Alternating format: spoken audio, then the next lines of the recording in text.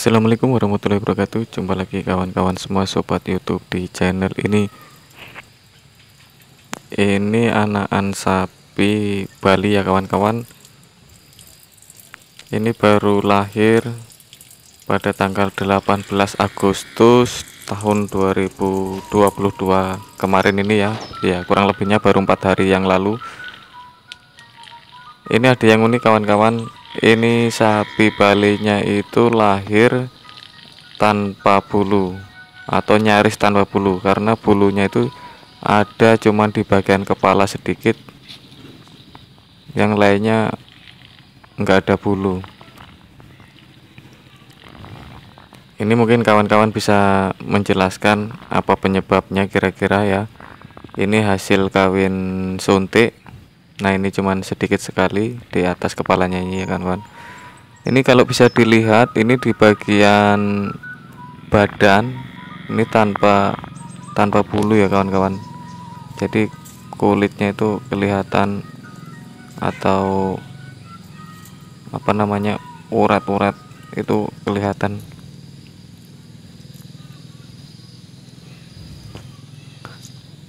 Jadi ini juga nggak tahu pengaruhnya awal mulanya dari apa? Yang jelas kalau indukannya ya sehat uh, badannya juga gemuk. Yang tidak ada masalah uh, untuk indukannya.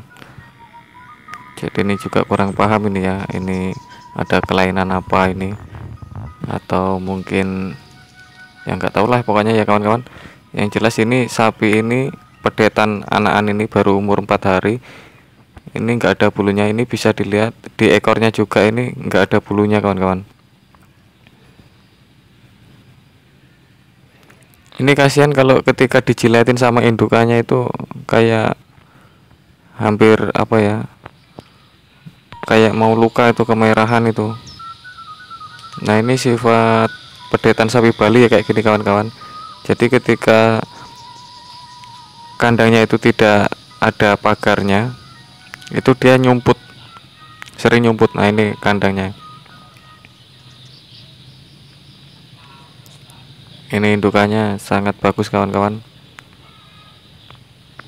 Nah ini yang enggak jauh dari kandangnya dia nyumput. Sembunyi.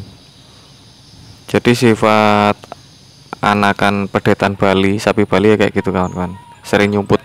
Ini indukannya baru melahirkan empat hari yang lalu mungkin jika kawan-kawan bisa membantu eh, apa penyebabnya bisa ditulis di kolom komentar ya kawan-kawan. Dan saya akhiri. Assalamualaikum warahmatullahi wabarakatuh